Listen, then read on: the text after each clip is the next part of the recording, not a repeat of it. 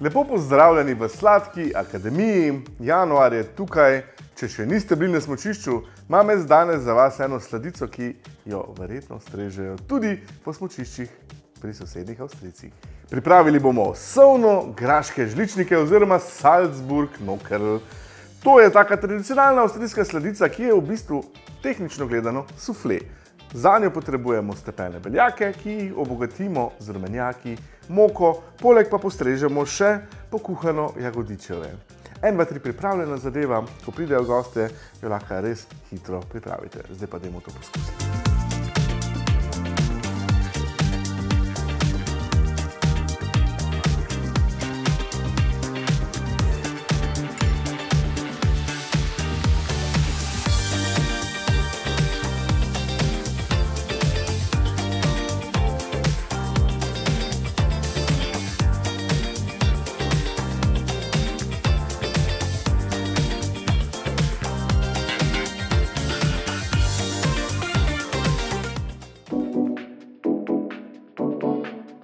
Salzburški žličniki so v bistvu nekakšen sufle.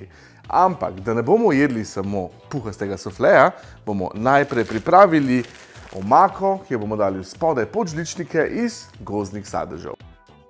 Jagodičeve stresemo v večjo posodo in pričnemo segrevati. Dodamo še vaniljev sladkor, nežno premešamo in tole kuhamo nekje 10 minut pa ne pozabimo dodati še žlico limonine lupinice. Ko se vse skupaj zgosti, odstavimo in pustimo, da se ohladi. Salzburške žličnike bomo tokrat pripravili malo drugače kot je tradicionalno in sicer uporabili bomo izdelke brez laktoze in pa brez glutena, pa še bio jajce imamo ter limone in sadje. Torej, Pripravite pa lahko, ko delate doma, vse to po enakih količinah, tudi s klasičnim mlekom in moko, tako da vas ne bo zavedlo. Zdaj pa vzamemo takšen ovalen keramičen pekač in ga namažemo v celoti z, uh, z maslom, tale brez laktoze, potem ga bomo pa posuli še sladkorjem. To pripravimo, preden se lotimo osnove za sufletje. Naš pekač naj bo keramičen, če je le možno, tradicionalno se uporablja takšen ovalen. Jaz ga lepo namastim z maslom brez laktoze, na to pa dobro posujemo s sladkorjem. Res vse robove, tako kot dno, posujemo s sladkorjem, tako da se dobro prime gor, odvečen sladkor pa stresemo nazaj v skledo. Jajca ločimo na rumenjake ter beljake. Potrebovali bomo 7 beljakov in 4 rumenjake.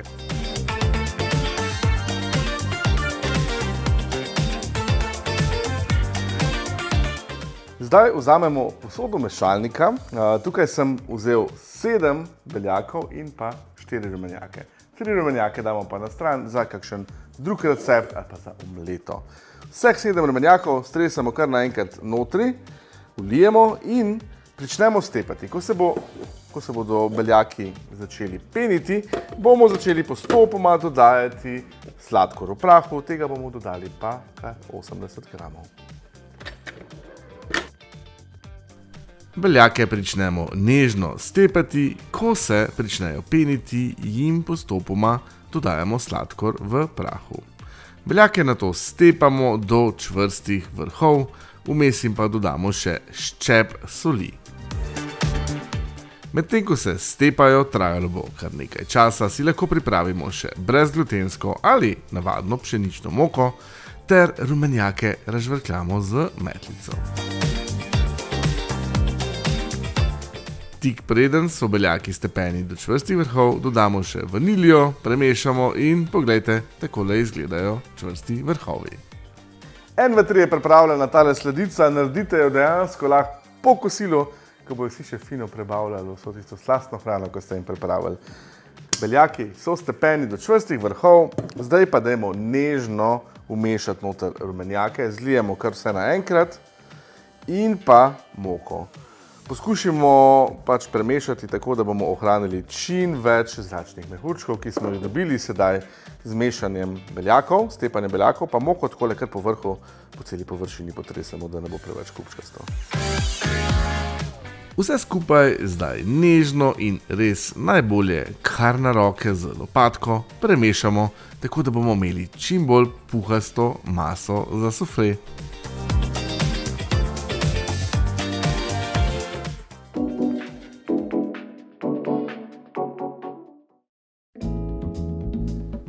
Vzamemo pokuhano in ohlajeno jagodičeve ter ga enakomerno razporedimo po dnu pekača.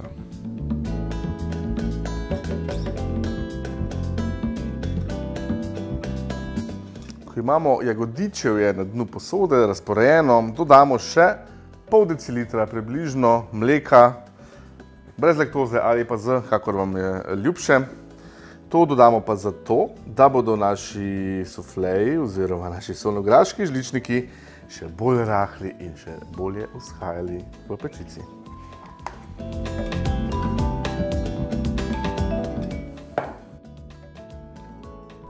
Sedaj prestavimo maso za solnograške žličnike povrh jagodičevja ter mleka. Lahko prestavimo na način, kakršen koli nam ustreza. Jaz bom uporabil kar tole lopatko za testo. Zdaj se lahko igramo kiparja in oblikujemo nekaj vrhov na žličnikih, ki bodo nekako predstavljali gore.